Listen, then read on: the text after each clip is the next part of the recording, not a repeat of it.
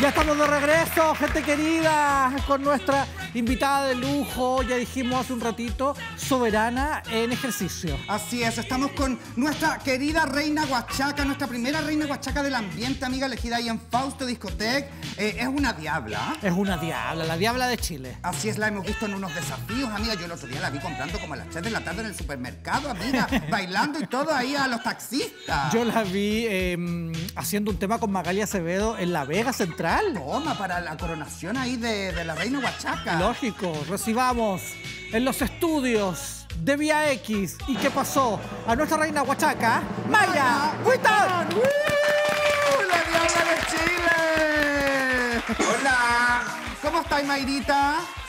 bien aquí feliz, contenta de estar acá. Eh, bueno, eh, yo cuando fui al programa ustedes de la radio, que a lo mejor es otro tema, pero ustedes me habían dicho que les gustaría que yo estuviera en el set con ustedes, pero bueno, ahora estamos por vía Zoom, pero eh, feliz, feliz de estar aquí con ustedes. Aparte que las amo a ustedes, Ay. me hacen tanto reír. Ñañita también, linda. Nosotros también somos muy, eh, somos fan de, de Mayra y también queremos que toda la gente te conozca un poco más. Eh, ahí Sí. le estábamos contando a la gente que eres nuestra primera reina Huachaca, que se eligió ahora en pandemia. Cuéntanos un poquito cómo, cómo fue ser eh, electa reina Huachaca aquí en día Zoom también, porque todo es virtual, po.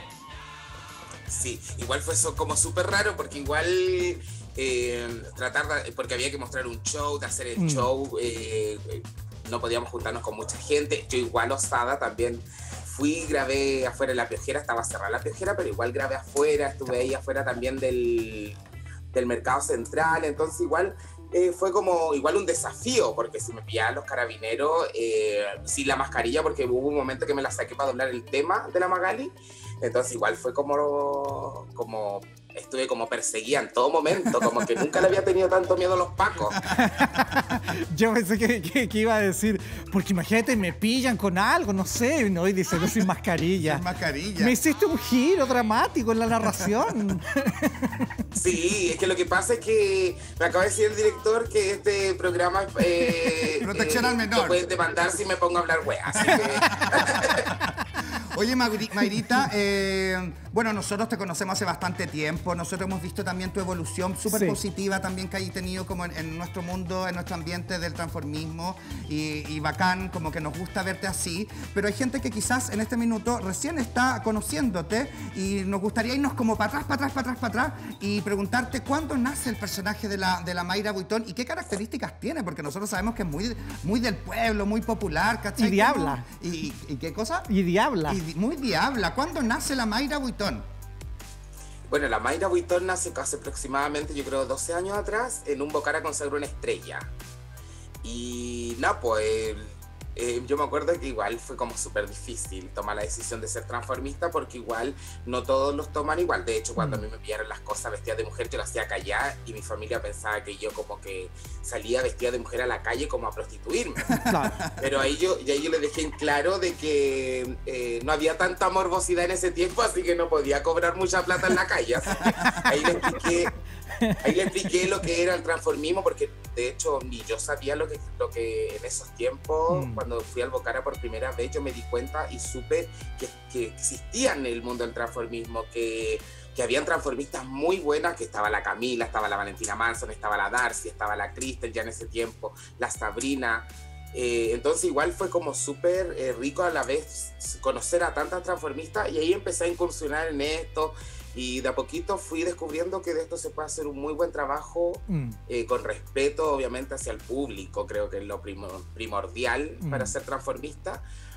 Y nada, empecé a aprender de a poco, nunca he tomado cursos de nada, ni de maquillaje, ni con suerte Diabla, de repente, pucha. ¿Cómo? Diablaza, Diabla, diablaza.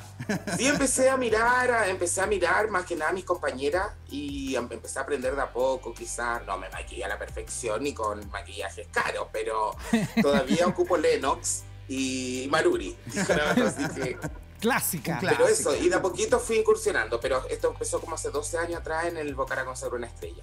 Oye, Mayra, entonces, en esta carrera que empezó hace 12 años, tú empezaste como probando diferentes estilos o siempre teníais claro como que este iba a ser tu estilo huachaca, popular, tropical, como mm, chispeante o lo descubriste después?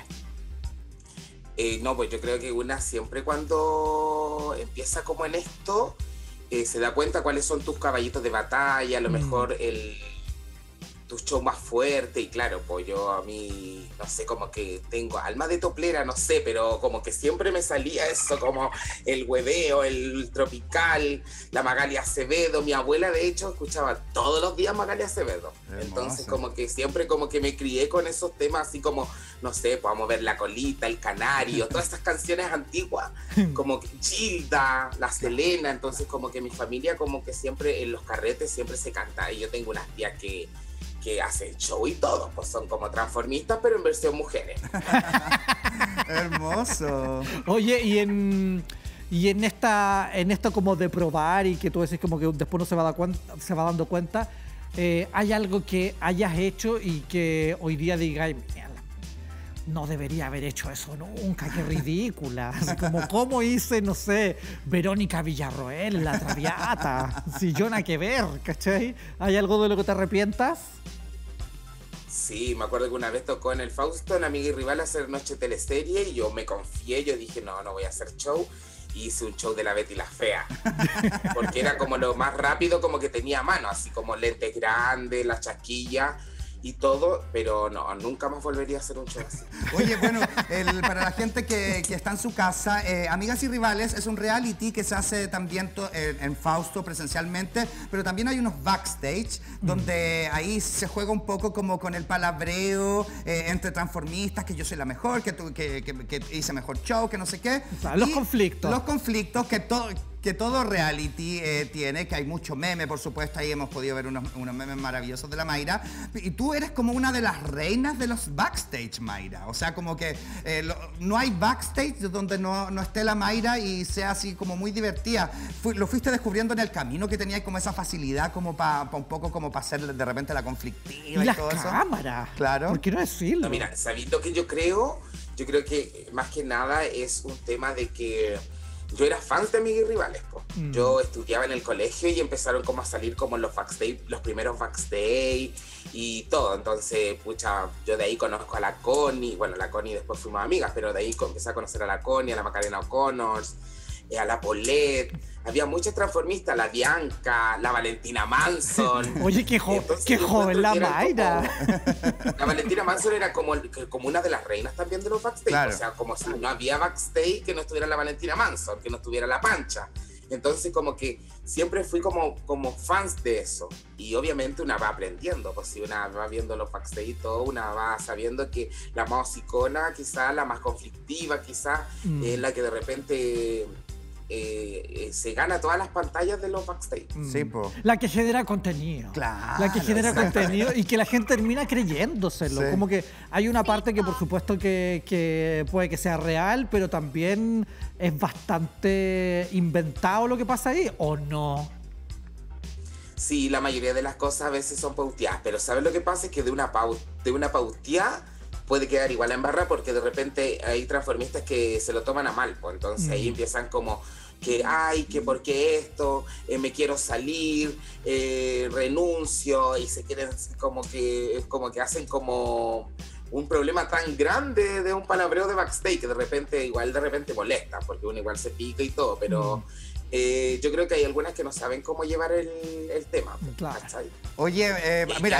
pero sí, de verdad que hay, hay transformistas que, que ya saben cómo es el juego. Pues antes yo creo que no, antes había re pocas transformistas que sabían cómo generar polémica y todo. Claro. Entonces ahora no, pues ahora ya están, ya, ya tienen como en la escuela ya y ya saben que en un backstage o en un reality tú tienes que saber defenderte, saber responder, el no quedarte callada. Entonces eso yo creo que ahora las transformistas nuevas ya lo saben. Entonces eh, yo fui una de las pocas que como que entendí y empecé como a buscar mi personaje también mm. como, como la antagonista de los realities, puede ser también. Entonces ahí empecé como yo dije, ya, esta es la mía y yo, porque yo encuentro que una transformista tiene que tener un estilo y que te tienen que identificar por algo. Mm. Entonces yo dije, a mí que me identifiquen como la ordinaria, como la conflictiva, como la cagüinera, como la problemática, pero me van a identificar, o sea, ya tengo un personaje, ¿me entendí?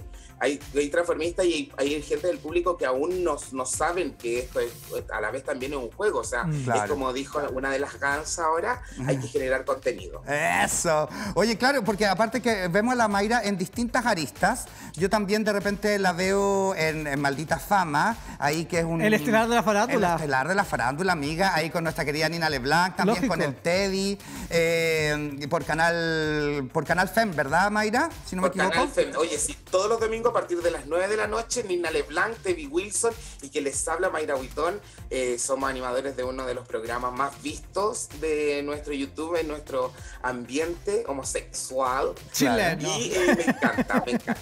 Sí, es que aparte que ahí te vemos como te vemos como en otra faceta también, como que, claro, en el reality tenía esta faceta un poquito más como de, la conflictiva, de, ahí como la más frontal y todo, pero acá también eres la presentadora y yo te he visto entrevistando, te he visto ahí como eh, debatiendo con otra gente y es muy entretenido. Yo lo veo todos los, de hecho, todos los domingos como que ahí me meto ahí a Maldita Fama y al canal de YouTube. ¿Cómo ha sido? Eh, porque es un trabajo que vienen haciendo hace bastante tiempo en el Maldita Fama, ¿cachai? Sí, llevamos ya aproximadamente como cinco años, seis años. Y fue, fue súper difícil porque nosotros el primer capítulo lo grabamos en el Fausto. De hecho, duramos como seis capítulos y ahí tuvimos que parar porque el, dueño del Fausto, había muchas transformistas que andaban como, como alegando o como diciendo que cómo se hacía un programa así, cómo mostraban a la Raiza pegándole al lavo loco y cuestión. Y había mucha gente que estaba como en contra del programa. Claro. La cual eh, pucha, nosotros nos sacaron del Fausto porque no querían asociar el programa con el Fausto. Claro. Como que si lo graban en el Fausto, el Fausto entonces es como lo que. Entonces ellos prefirieron como desligarse del programa y nosotros salimos. Y estuvimos un rato eh, esperando buscar un lugar donde grabar y ahí empecé a trabajar en el Open Box de acá de la Plaza de la Independencia y nos ofrecieron también la locación, así que duras para Ya nos fuimos con la Cristal Santander a animar en Maldita Fama y de ahí es que no hemos parado. Después yo me salí en una temporada, si no me equivoco, y entro la Jade y luego yo ahora en la pandemia le dije que, pucha, que había harto contenido en los live, en las conexiones en vivo, las transformistas se descuelan. Claro. Entonces yo dije, hay, hay, aquí hay harto contenido y hay que exponerlo también al público. Creo que el público también también tiene derecho a saber lo que opinan las, las compañeras curá o sin copete, pero opinan y, igual es entretenido porque eh, yo creo que igual esto le da como el sabor, como el sazón mm. a nuestro ambiente como transformistas. Creo que todas las transformistas eh, siempre andamos buscando como la yayita de la otra, porque a mí me han pasado que las mismas transformistas me mandan de repente cosas de las sus compañeras, así como, mira lo que dijo esta, o mira esta en que la vi, y la graban y todo. Entonces, Mayra, sabéis que, mm, que mientras estaba ahí hablando, eh, me pasaba que me puse a pensar en que en el, en el reality, como en el backstage, se usa un tipo de lenguaje y se crea un contenido.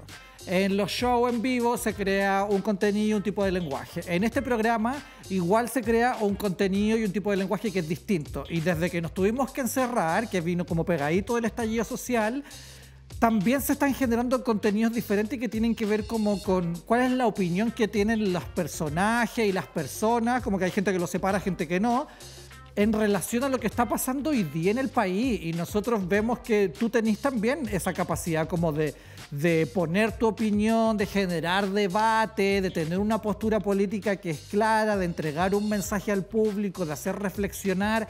Entonces, me parece que muy bien, aparte que va por la prueba la Mayra, va por la prueba. ¿Qué más encima va por la prueba? Oye, y me tocó ser vocal de mesa. Toma. Así que voy a estar. Ya esto tiene que cambiar. Ya esto tiene que cambiar, ya tenemos que tener una dignidad nosotros como chilenos, creo que sobre todo para el adulto mayor. Mm. Y creo que es el momento, el momento, eh, eh, o sea, ha pasado tantas cosas fome eh, en todo, en todo nuestro país que creo que ya llegó el momento de cambiar la situación económica, la, la, la, salud, el, la educación. Yo creo que, todo eso tiene que cambiar y yo creo que este es el mejor momento, así que la oportunidad y por eso yo te lo juro que yo dije, no, ya, ya fui tres veces vocal de mes. Yo creo que esta me salvo.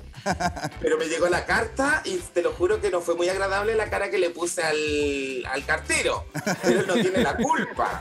Entonces yo calladita la agarré y le hice, uh, le hice así, me dijo, sabe que todas las personas que le entrego esta carta me dicen lo mismo. Yo le digo, no importa, pero yo quizás podría hacerme bien la tonta, no ir y no, no ir a votar. Pero yo por ir a votar, apruebo voy a ir y voy a hacer vocal de mes. Oye, sí, Mayra, y eso también sabéis que es súper importante porque uno que sigue los live, que sigue a ustedes las transformistas, de repente vemos algunas que son comprometidas con la causa y otras que no, que están bien calladitas. Entonces, para mí es súper importante que tú estés sacando la voz y me parece que es súper como aplaudible eso de que, porque tú tienes un público que te sigue y, sin duda que eh, incentivas a la gente también a que, que necesitamos que haya un cambio de verdad, de fondo, ya basta con la desigualdad, queremos una salud digna, queremos una educación digna, así que vamos por el apruebo y por esa convención constitucional, así que bravo, Mayra Whitton, la diabla de Chile.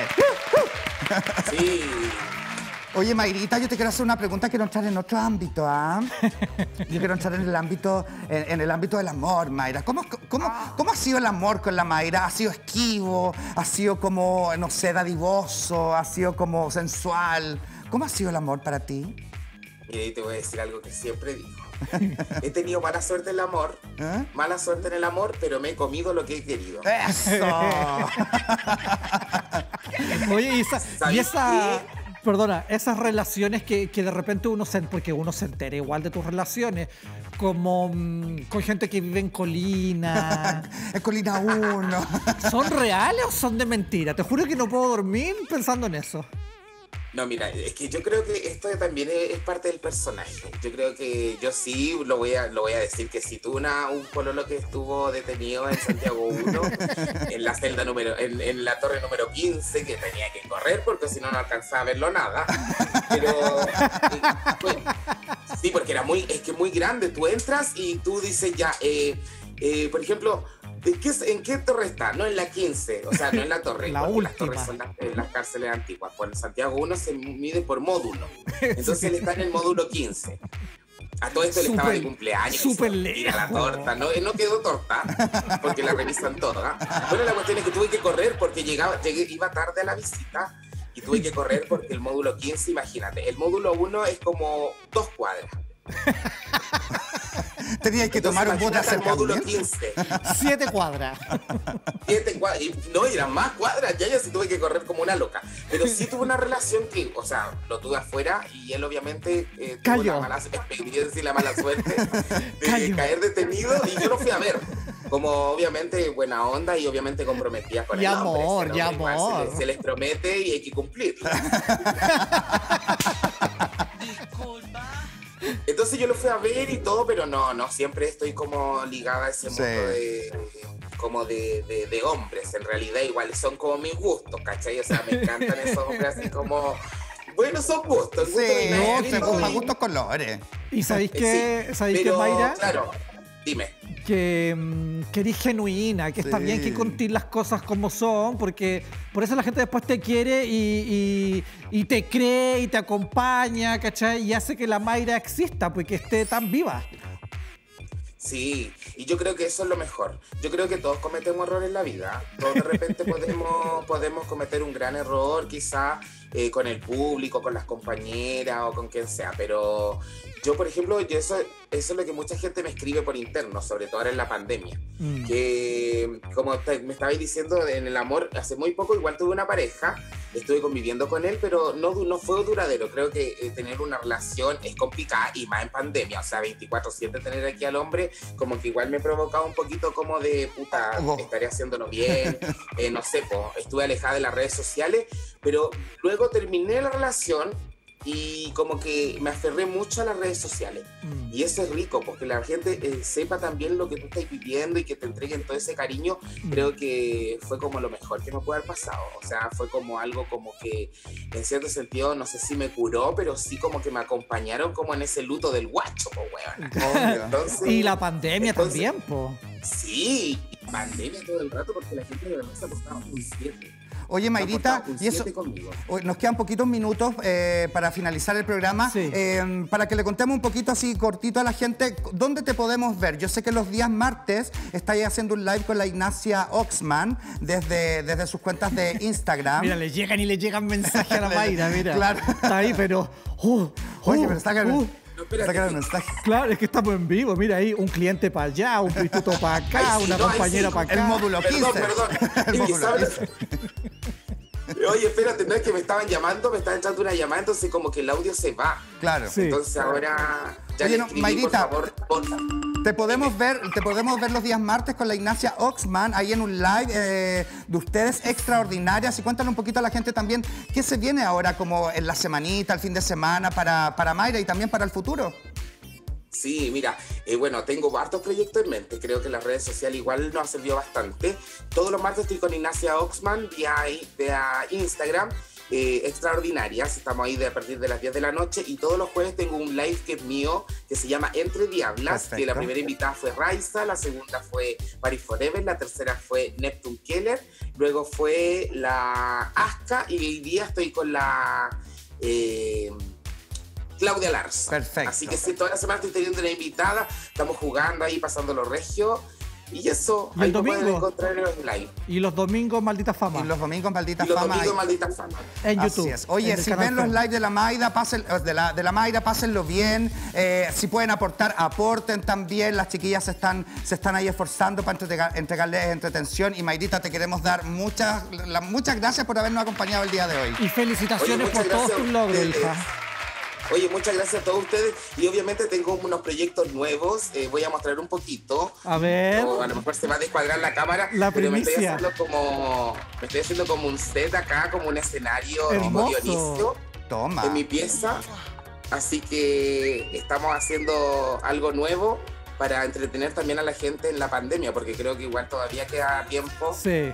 Y, después a celebrar por las redes sociales también, que obviamente vamos a probar todo y obviamente va, va a cambiar todo nuestro país para mejor. Así que es un besito muy grande para ustedes, chiquillos, para los dos, para el César, para el Luis también. Eh, la Manson, un besito para los dos, de verdad les tengo mucho cariño, muchas gracias por la invitación, a la producción también, muchas gracias por considerarme, traté de no echar mucha chucha, no ser muy guachaca, porque obviamente vamos a salir en un, en un, en un canal igual importante para, para nosotras, y obviamente este programa que es más que visto, y de verdad les doy las gracias a ustedes chiquillos porque ustedes sacan la cara por todos nosotros los homosexuales que de repente no tenemos la oportunidad de, de, de- de eh, todo lo que nosotros pensamos y ustedes son un fiel eh, como voceros de todos nosotros. Así que Gracias. feliz de Mayra. verdad por esta invitación y les deseo el mayor éxito de todo el mundo para ustedes dos porque son personas maravillosas. Nosotros igual, ay, se me pararon los pelos, huevona. Eh, nosotros también te deseamos todo el éxito del mundo, eh, que se vengan puras cosas positivas. Esperemos que nos podamos abrazar súper pronto. Eh, y nada, pues yo quiero que nos terminemos arriba este programa. Bailando. amiga, bailando, ¿no es cierto? Bailando con un tropi, por Con un favor. tropi. DJ Bascour, por favor, póngalo, póngalo. Gracias a, la gente que nos acompañó y nos vemos en un próximo capítulo. ¡Vamos! Así es, a ver, DJ Bascour, ¿cuál es? Eso, sube el volumen. Chao, chao Mayrita. ¡Chao, amor! Amor, nos vemos amor.